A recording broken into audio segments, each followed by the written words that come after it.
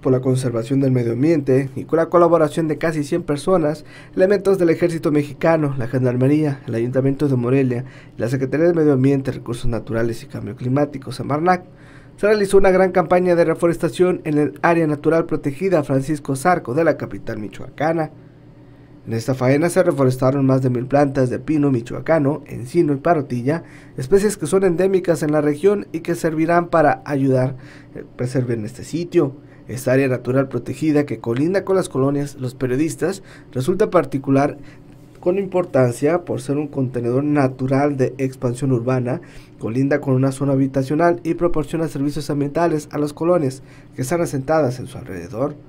Las reforestaciones en los parques urbanos como Francisco Sargo permiten además dar protección a las casas asentadas, terrenos abajo, luego que en la reforestación se evita la remoción de suelos causados por fenómenos hidrometeorológicos.